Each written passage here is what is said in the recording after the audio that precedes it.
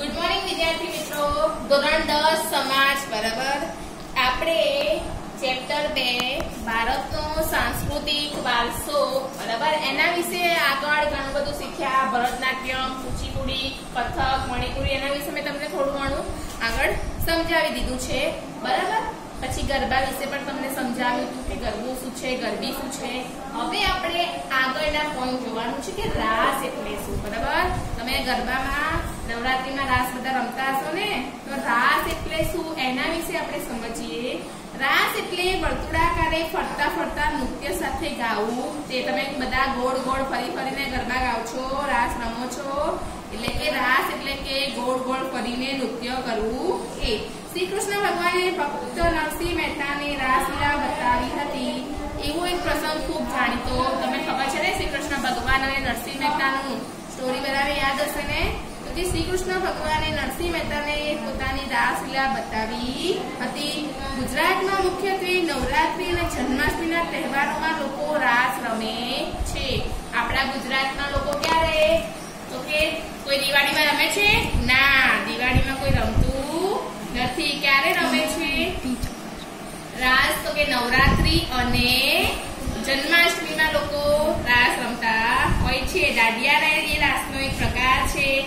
કેટલાક માથે ગાગર કે હાંડો મૂકીને પણ રાસ રમતા હોય છે. ગાગર એટલે કે જે ગરબો આવે છે, એ મૂકીને ઘણા લોકો માંડવી હોય છે, માતાજીની એ મૂકીને પણ રમતા હોય છે. સમાજમાં વૈષ્ણવ સંપ્રદાયની વ્યાપક અસર થતા રાસ વધારે લોકપ્રિય બન્યા છે.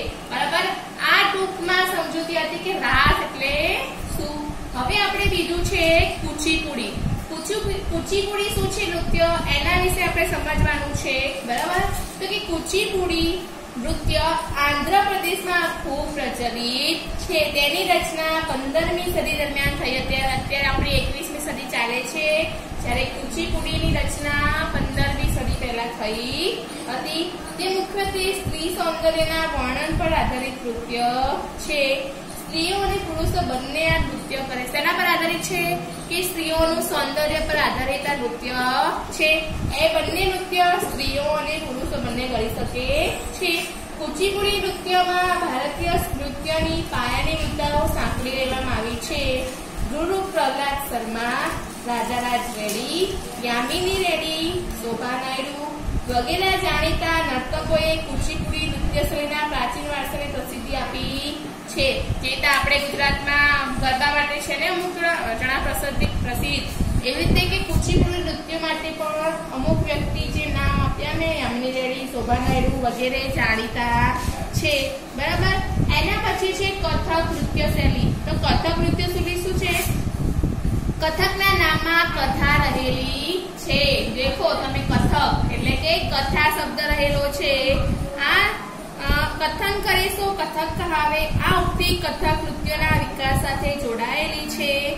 કથક નૃત્ય શ્રી કૃષ્ણના ગોપીઓ સાથેના નૃત્યોની કથાઓ પર આધારિત.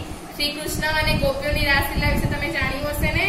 તો એના ઉપર આ કથક શબ્દ આધારિત છે. વૈષ્ણવ સંપ્રદાયની શૃંગારી ભક્તિ સાથે તેનો ઉત્તર ભારતના વિકાસ થયો છે. પંડિત બિરજુ મહારાજ સીતારા દેવી કુમુદિની લાખિયા વગેરે આ નૃત્ય કલાને જીવંત રાખી છે. ગરબા માટે કોઈ પ્રસિદ્ધ છે? કુચીપુડી માટે પણ અમુક વ્યક્તિઓ પ્રસિદ્ધ હોય છે. તેવી રીતે કથક માટે પણ જે બે ત્રણ નામ મેં આપ્યા છે, એ લોકો પ્રસિદ્ધ છે. હવે આપણે મણિપુરી નૃત્ય શૈલીનો પરિચય મેળવીએ. તો કે મણિપુરી નૃત્યનું મુખ્ય કેન્દ્ર મણિપુરી રાજ્ય છે. મણિપુરની પ્રજા દરેક ઉત્સવ પ્રસંગે આ નૃત્ય કરે છે. જેવી રીતે આપણે આપણે તમે સિરિયલ જોતા હોય, બરાબર? તારક મહેતા કા ઉલ્ટા ચશ્મા. એમાં ઘણા શું કરે છે બધા? ગરબા રમવાનું ચાલુ કરી દે છે, બરાબર?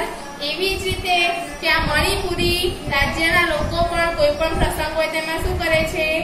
આ નૃત્ય, મણિપુરી નૃત્ય ચાલુ કરી દે છે. આ નૃત્યના લાસ્ય અને તાંડવ એ બે પ્રકાર છે. મણિપુરી નૃત્ય મુખ્યત્વે શ્રી કૃષ્ણની બાળ લીલા અને રાસલીલા પર આધારિત છે. કથક શેના પર હતું? એ આધારિત, તો કે કૃષ્ણ ભગવાન અને ગોપીઓની લીલા પર આધારિત હતું. જ્યારે મણિપુરી તે કૃષ્ણ ભગવાનની બાળ લીલા અને એમની રાસ લીલા પર આધારિત છે. આ નૃત્યમાં નર્તક તરીકે ઓળખાતા ઘેરા રંગનો ચણિયો અને રેશમનો કબજો પહેરીને કમરપટ્ટો બાંધે છે. કુંભીના શું છે? એક પ્રકારનું લીલા રંગનું રબર વસ્ત્ર છે કે મણિપુરીમાં લોકો જે પણ નૃત્ય કરે છે, ત્યારે આ રંગનું શું કરે છે? કે કપડાં પહેરીને નૃત્ય કરતા હોય છે. હવે આગળ આપણે સંગીત મકરંદનો પરિચય આપીએ. બરાબર? સંગીત મકરંદ પ્રાચીન ભારતનો સંગીત ગ્રંથ છે. ઈસવીસન નવસો ની આસપાસ પંડિત સંગીત શાસ્ત્રીએ તેની રચના કરી છે. કોણે રચના કરી છે? તો કે ઈસવીસન ઓગણીસની આસપાસ સોરી ઈસવીસન નવસો ની આસપાસ પંડિત નારદ નામના સંગીત શાસ્ત્રે તેની રચના કરી હતી. તેમણે આ ગ્રંથમાં જાતિ ગાયન અને વિવિધ રાગ રાગિણીનું વિવેચન કર્યું છે. સંગીત મકરણમાં ઓગણીસ પ્રકારની વીણાઓ તથા એકસો એક પ્રકારના છે, જે હાલમાં સમયમાં પણ ઉપયોગી સાબિત થયા છે.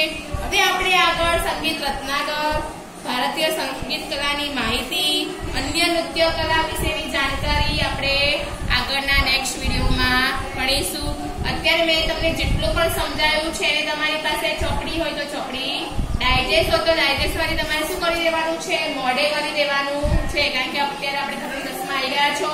અત્યારથી તમે મોડે કરશો. તમે આગળ યાદ રાખી શકશો એટલે તમારે શું કરવાનું છે? આપણું અમે બીજું ચેપ્ટર પતવાયું છે. બરાબર?